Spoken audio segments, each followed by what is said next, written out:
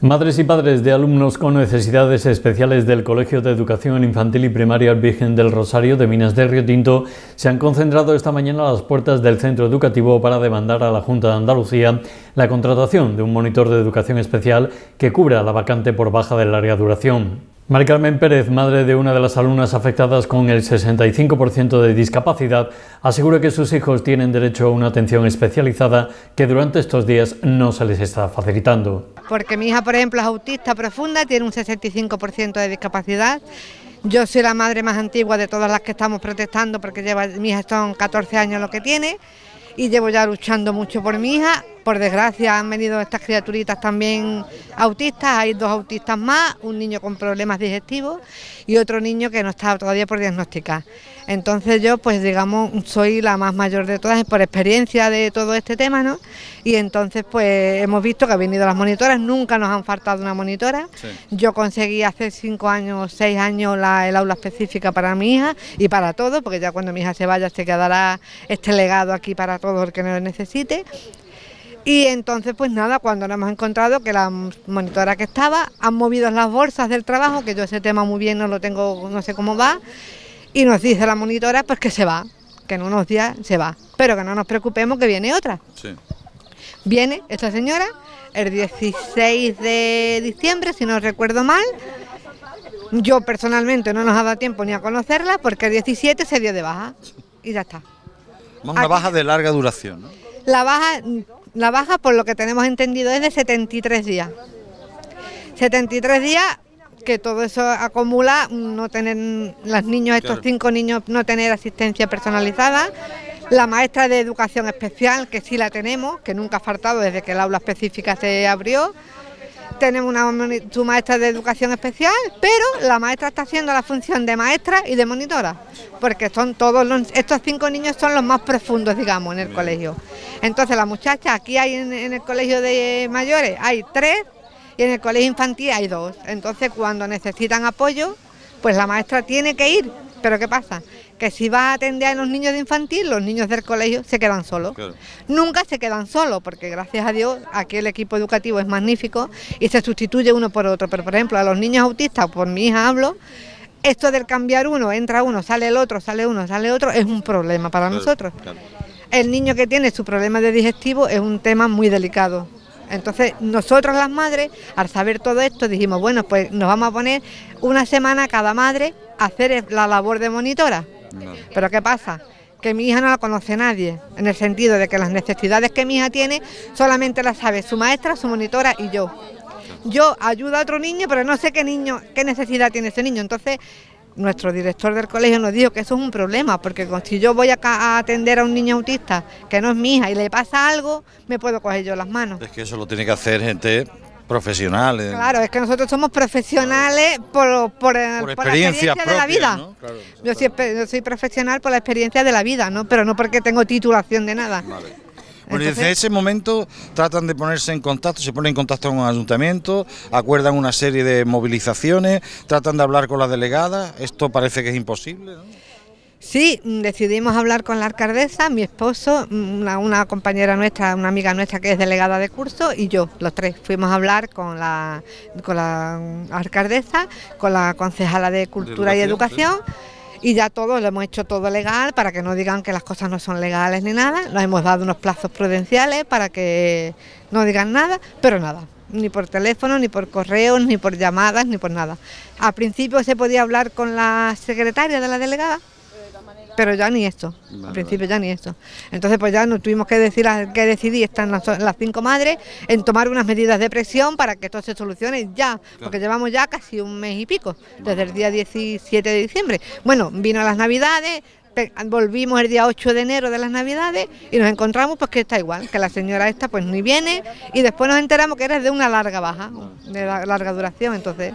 Bueno, y van a seguir con las protestas hasta tanto en cuando no haya una solución. Sí, de momento hemos decidido una cosa normal, prudencial, una cosa para, no, para llamar la atención, digamos. Si hace falta algo más, pues hará algo más. Estamos dispuestas a hacer lo que haga falta. La esta protesta que estamos haciendo es hoy, mañana y pasado. De momento, si hay una solución, nuestra alcaldesa con sus concejales en tus cosas nos informarán. Si esto no sirve para nada, pues tomaremos otras medidas más drásticas. La alcaldesa de Minas de Retinto, Rocío Díaz, que ha acompañado a las familias afectadas durante la concentración, pone el foco en los recortes de la Junta en materia educativa que hacen mella en municipios como el de Río Tinto. Bueno, pues la situación es pues que una vez más los recortes de la Junta de Andalucía en materia pública como educación pues hacen mella pueblos como, como el de Minas de Río Tinto. Y bueno, pues nada, estamos aquí pues, pues para protestar por, por la falta de, una PTI, de, una, para que me entendáis, de una técnica eh, de integración social eh, para niños con necesidades educativas especiales. Entonces, bueno, aquí en Río Tinto tenemos, tenemos una aula especializada y además tenemos varios niños con, necesidades especiales y nos encontramos con que están totalmente desamparados. La respuesta de, la Junta de Andalucía ante la reclamación por parte del Ayuntamiento, mía en, particular, y de la concejala de Educación, Anzadara González, pues ha sido, no nos han atendido y bueno, nos hemos enterado de que, de que van a solucionarse los problemas pronto por una nota de prensa. Entonces, bueno, seguimos en, en la misma situación, la Junta de Andalucía ni nos atiende, ni nos da respuesta y bueno, y estos niños necesitan una solución de hoy para mañana, no podemos esperar dos o tres meses que la Junta quiera, quiera solucionar eh, la falta de, este técnico. Cinco son los alumnos afectados por la baja de larga duración de esta monitora de educación especial, tres en primaria y dos en infantil. Para el director del centro educativo, Fernando Suárez, que se encuentra confiado en que la semana que viene se tengan solucionado el problema, esta situación atiende a una necesidad y no a un capricho. Hombre, una situación inadmisible porque la Administración tiene sus procedimientos en estos temas entonces el problema está que no depende solamente de educación, sino que hay otra consejería implicada y tiene que salir la oferta pública de empleo con sus plazos correspondientes y demás. Claro, esto se ha comunicado a delegación y el problema es que estamos hablando de una necesidad, no es un capricho que se cubra antes o después, sino una necesidad que hay determinados niños del centro que necesitan de esta figura de la monitora escolar para poder tener una calidad educativa suficiente para ellos. Entonces ese es el problema, no ha habido otro problema. Por parte de la Administración se ha comunicado que se va a cubrir, pero claro, que tienen que transcurrir los plazos. Ya. Claro, comentaba antes una madre y la concejala, y creo que con mucha razón, que no estamos hablando de una situación como podría ser que faltara una profesora de matemáticas, sino que son niños de unas condiciones muy especiales. Claro, se unen dos cosas. Primero, eh, el tema de la sustitución del profesorado sí es verdad que lo está suficientemente garantizado, es decir, eh, pueden pasar cinco o seis días y el profesor está aquí sin ningún problema. Pero en estos casos, como un, profesorado que depende de, una bolsa además de personal laboral, que es distinto, pues lleva otros trámites. Y sí es cierto que el colectivo de alumnos al que va destinado la atención de esta, de esta plaza, sí son necesidades educativas especiales y lógicamente es una necesidad mayor, si cabe, que una necesidad puramente educativa. Estamos hablando de temas higiénico-sanitarios, de temas de hábitos, de temas de, de conductas que hay que estar encima porque son niños que en un momento determinado pueden tener una reacción inesperada, ¿no? Entonces, eh, tiene que, esta figura es imprescindible. Nosotros incluso en el, informe que remitimos a delegación solicitando la máxima agilidad posible en la cobertura, poníamos eso, que hay otros centros donde hay un PETIS que está para un niño, aquí tenemos cinco niños y cada uno de ellos lo necesita individualmente, cuanto más el grupo. Entonces, pues sí, se unen las dos cosas la, cobertura que tarda y la necesidad que es muy grande. ¿Y ustedes como colegio han explicado esta situación? ¿Han obtenido respuesta a diferencia de, por ejemplo, concejales y madres que dicen que no han conseguido respuesta alguna? No, de delegación, bueno, la respuesta nosotros lo hemos estado gestionando a través, a través de, de distintos departamentos, a través de personal, a través de ordenación educativa y demás, pero la respuesta es la misma, es que, es que esto es un procedimiento. Además, el tema ya no pertenece ni siquiera a educación, el tema ya está en manos del SAE y después el SAE hará una propuesta de posibles candidatos a cubrir la plaza y ya es la delegación, lógicamente, la que resuelve. Pero hasta esa fecha nosotros no tenemos otra información distinta. Bueno, lo que, lo que sí está claro es que estos niños necesitan esa atención especial. Los profesores han estado desdoblándose, haciendo un poco, intentando de, paliar, pero... Claro, incluso realizando funciones que no le competen. Pero bueno, por digamos humanidad y porque son críos que queremos con cierta sensibilidad especial incluso, pues lógicamente hemos estado supliendo en la medida de lo posible. Hay cosas que evidentemente eh, es una persona más en el centro y lo que no podemos hacer es doblarnos, pero bueno, que lo básico se ha intentado cubrir para que el daño sea lo menos posible. Muy bien. Pues a ver si hay una pronta solución. Fernando, muchas gracias. Esperemos que así sea. Yo, yo confío en que, bueno, no, no se va a demorar demasiado. Confío que a lo mejor la semana que viene ya podemos tener noticias del tema. Por su parte, la concejala de Educación del Ayuntamiento de Minas de Retinto, Zara González, argumenta la urgencia, en este caso, en la necesidad especial de los cinco niños afectados. Es una baja de larga duración y aparte pues las necesidades de estos niños, ¿no? que no es, digamos, sin desvalorizar a ningún otro profesional, no es una maestra de, matemática que, puede cubrir, digamos, esas horas eh, cualquier profesor, ¿no? por decirlo así de alguna manera, pero es que tiene que ser un personal que esté debidamente cualificado y que bueno que, tenga conocimientos, ¿no? Porque son niños que lo requieren.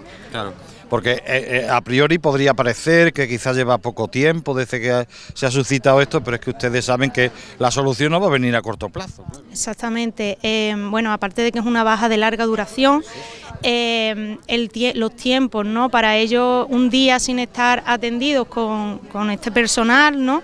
pues le supone bastante, le supone que, estén, digamos, de alguna manera retrocediendo su aprendizaje, ¿no? Necesitan esa atención plena y continua de, estas personas. Claro, y lo que produce que haya otros profesores que tengan que atender a estos niños, que haya madres que hayan tenido que hacer turnos, algo rocambolesco.